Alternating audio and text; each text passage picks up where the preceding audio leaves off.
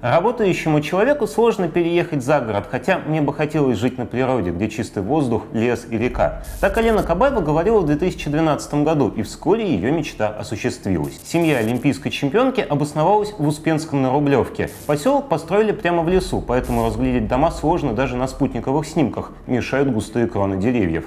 Рядом речка, а среди соседей высокопоставленные функционеры от «Единой России», влиятельные бизнесмены и адвокаты, а еще недавно здесь жила семья Юлия Чайки. В 2013 году участок и два дома здесь купила Анна Зацепилина, также зовут бабушку олимпийской чемпионки. А в июле 2018 года, как выяснили открытые медиа, сама Алина Кабаева впервые стала собственником недвижимости на Рублевке. Она приобрела участок в 25 соток, который находится прямо рядом с участком Зацепилиной. Участок она приобрела у фигуриста и бывшего депутата Антона Сихарулидзе. Как убедились открытые медиа, это, вероятно, самая дорогая недвижимость, которой владеет семья Алины Кабаевой, но при этом далеко не единственная. В общей сложности ее родственникам принадлежат 6 квартир, 2 больших дома и 70 соток земли, а их примерная рыночная стоимость превышает 1 миллиард рублей.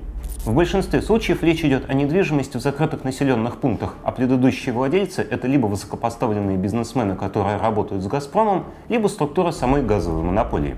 Исключением не стал и Антон Сихарулидзе. Его компания, долю в которой он получил в 2017 году, выполнила работу для «Газпрома» на сумму больше 50 миллиардов рублей. Остальные риэлторы тоже хорошо известны. Среди них, например, Геннадий Тимченко, один из богатейших бизнесменов России, который тесно работает с «Газпромом».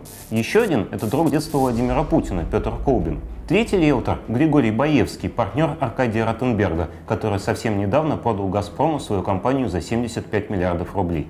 Все они продавали участки или квартиры родственникам Алины Кабаевой. Впрочем, далеко не вся недвижимость находится в собственности у родственников Алины Кабаевой. Так, например, ее мать Любовь Михайловна Кабаева оформила долгосрочную аренду на 49 лет на двухэтажное шале в Сочинских горах. Сосед матери Кабаевой, премьер-министр Дмитрий Медведев. Как выяснил фонд борьбы с коррупцией Алексея Навального, неподалеку находится резиденция в Сочинских горах, которая так ему полюбилась. Аренда двухэтажного шале и прилегающей земли почти ничего не стоит. Любовь Кабаева, сын Виктора Золотова и еще несколько топ-менеджеров «Газпрома» платят за эту недвижимость примерно 300 рублей в день на всех. Вероятно, у Кабаевой наибольший доход среди членов ее семьи, но при этом нельзя назвать точную сумму. В 2014 году она покинула Государственную Думу и возглавила Совет директоров национальной медиагруппы. Но национальные медиагруппы не публикуют годовую отчетность, которая позволила бы сказать, сколько именно получает Алина Кабаева. Почему Кабаева, не имевшая опыта менеджерской работы, возглавила НМГ, остается загадкой. Тайной при этом овеяна и ее личная жизнь.